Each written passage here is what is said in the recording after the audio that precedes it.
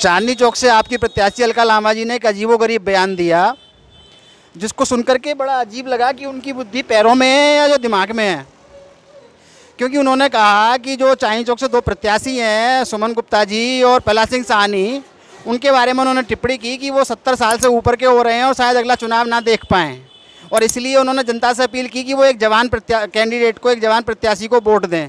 तो मैं सिर्फ़ उनसे ये पूछना चाहता हूँ अलका लामा जी कि जो आपकी अध्यक्षा हैं, श्रीमती सोनिया गांधी, उनकी उम्र शायद पचहत्तर प्लस है। तो उनके बारे में आपके क्या विचार हैं? उसके बाद नंबर आता है माखनलाल फौजदार का, दिग्विजय सिंह का, शरद पवार का, यानी आपकी अपनी पार्टी के अंदर सत्तर साल से ऊपर के एक से नहीं अनेक कैंडिडेट भरे पड़े हैं।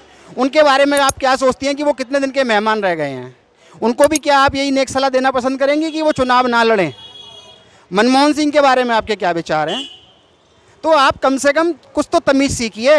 आप चांदी चौक जैसे शहर में मतलब चांदी चौक जैसे इलाके में रह रही हैं, जहाँ पर वहाँ रह करके आप वहाँ के जो जनता है, उसका आप मज़ाक उड़ा रही हैं, उस जनता की बेजती कर रही हैं। आप ये कह करके कि सत्तर साल से ऊपर के व्यक्ति चुनाव ना लड़े।